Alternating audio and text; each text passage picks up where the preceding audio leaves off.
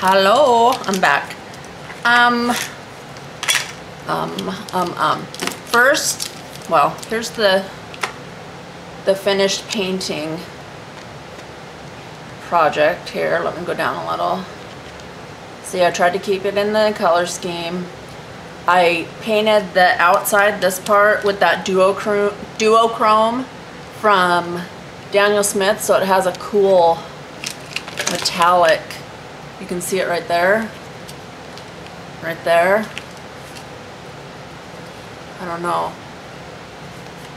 Woo, there, can you see all that gold in it? Ooh, I love it. Okay, let's go back out here.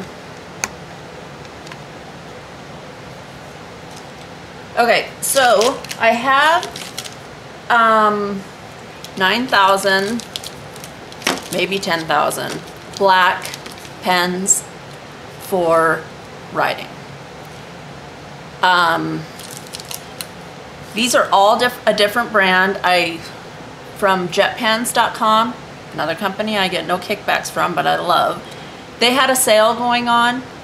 Oh, hang on. My cat has his tail in a paint. Watch out. Watch out, buddy.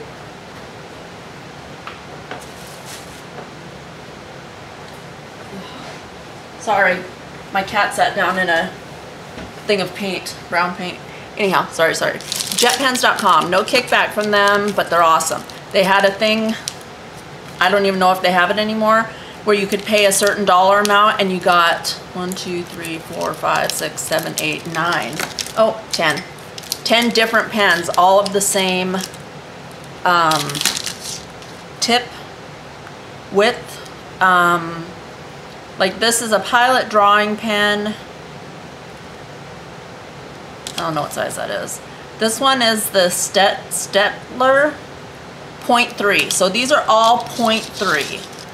Uh, there's a Rotring Tikky graphic, a Uni Pin, P-I-N, the Zig Main, Manja, Manja, Manjica. I don't know what some of these things are.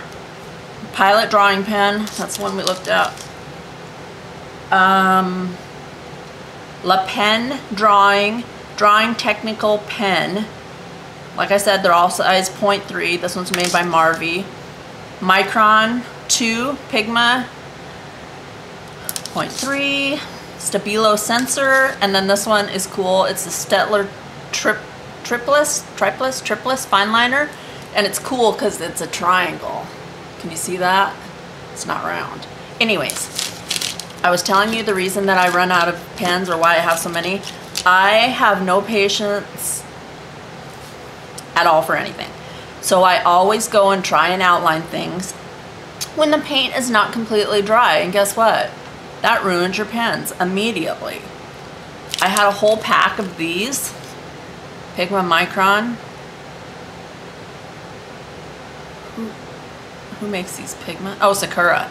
I had a whole set of them, like 10 different sizes. I ruined every single one of them and had to throw them away. So this I let sit dry, plus I blow dried it. It warped up a little bit, you know, got a little wiggly, so I flipped it over. I sprayed the back and, you know, rubbed the water in. And you can blow dry it or you can set it under a book and that pretty much, I mean, it's still a little warpy, but not bad you know, it's good enough that I can, I can use it. I don't know if, I read somewhere that that helps break up the fibers in the paper. That's why it helps it lay flatter, but I don't really actually have the faintest idea. I'm, yeah. So, we're gonna do a little bit of detail work. Certainly you can leave it exactly like this if you want. If you've taken my other class, you know that I have this horrible obsession with outlining everything, which makes it look very illustrated you know, cartoony looking instead of painterly. It's just something I can't really stop doing. So, completely up to you. Leave it how it is. Outline every single circle. I'm going to do some of that, but also add a little bit of my own doodles to it if I can. If you're not comfortable going straight on with the pen, do it with a pencil. You can still erase on top of watercolor do it with a pencil and then finish it up with a pen. These are, a this point three is a, it's not the finest tip in the world. Oh my gosh, the first one I pull out is dead. Welcome to my world. There, see how thick that one is? And then I'll pull out, uh, let me get another size here to show you the difference. Seriously, I don't have a different one here. Wonder if my child was in my pens. That wouldn't be too terribly surprising.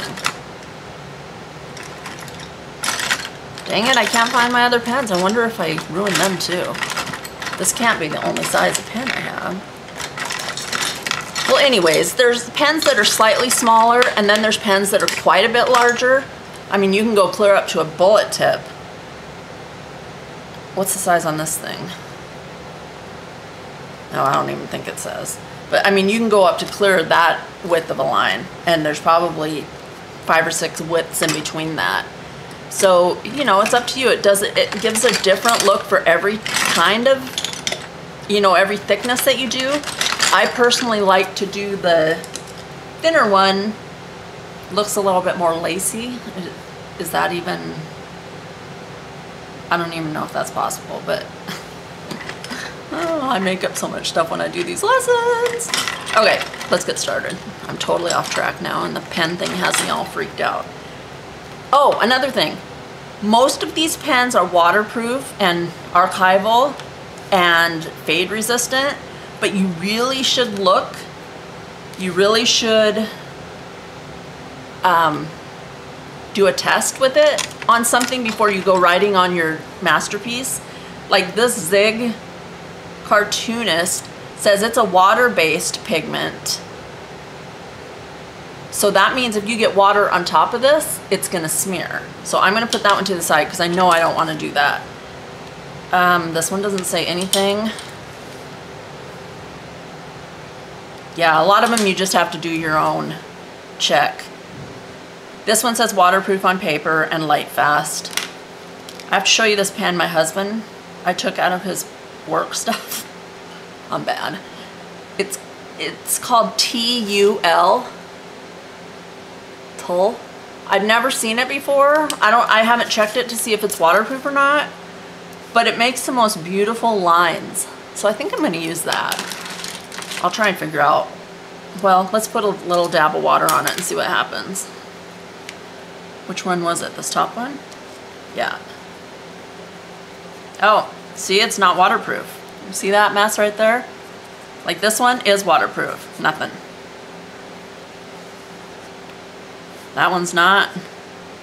That one's not. So, like I said, you really need to check and be, you know, make sure.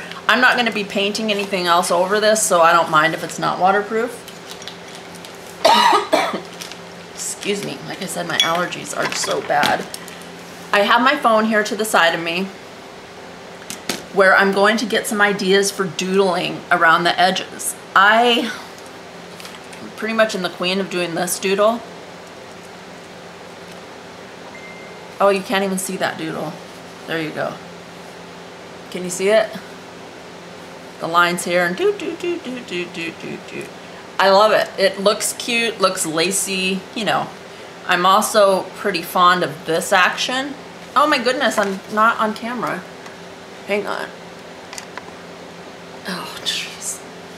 Okay, of this action, like a petal coming out, where you can go like that in the middle. You can just do stripes. You can do like that. Um, yeah, those are my favorite doodles. Anyhow, I do have to go online to, on Pinterest to get some ideas. Otherwise, I'll do the entire thing like that, which isn't a problem, but it's kind of boring. So I'm going to do some doodads here. Hopefully I'll be able to actually do it on camera because that would not be so great. I'm going to fast forward it because it will probably be boring. And occasionally I'll be looking over at Pinterest to get some ideas for other line ideas. Okay? See you in a bit.